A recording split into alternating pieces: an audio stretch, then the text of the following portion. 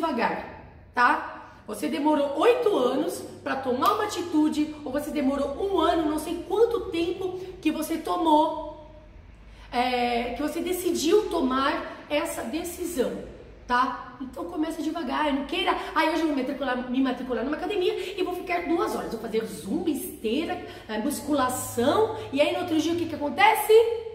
Você tá morta igual uma farofa,